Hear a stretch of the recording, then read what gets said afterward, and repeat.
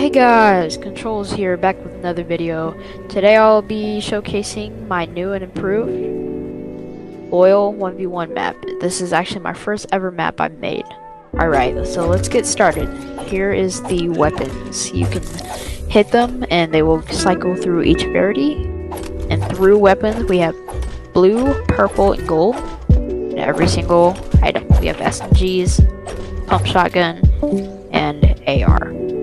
Now we have glow orbs, and if you don't want them on, you can easily press this button on the side, and they'll remove you. Anyway, we also have a jump fatigue.